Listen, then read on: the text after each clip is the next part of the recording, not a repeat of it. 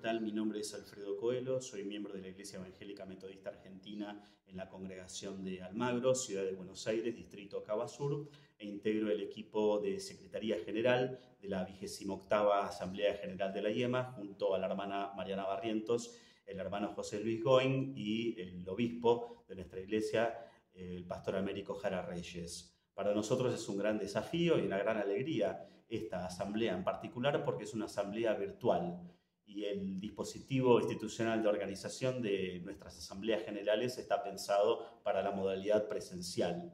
Así que es una situación totalmente inédita, tanto para las delegaciones como para el equipo organizador. La estamos eh, encarando con toda la energía y con mucha gratitud porque hemos podido, con mucho esfuerzo y buena predisposición de las delegaciones, constituir nuestra asamblea el sábado 14 de septiembre.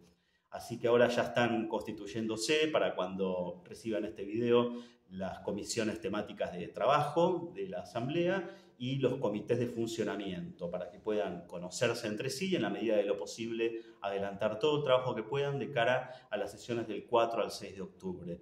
Este equipo organizador al cual estoy muy agradecido en forma personal, eh, está trabajando y en disposición y a servicio de la Asamblea General de nuestra Iglesia. Así que la Asamblea es soberana y tiene las herramientas a su disposición para tomar las mejores decisiones en cuanto al, al uso del tiempo y que podamos servir en la vida y misión de nuestra Iglesia. Muchas gracias.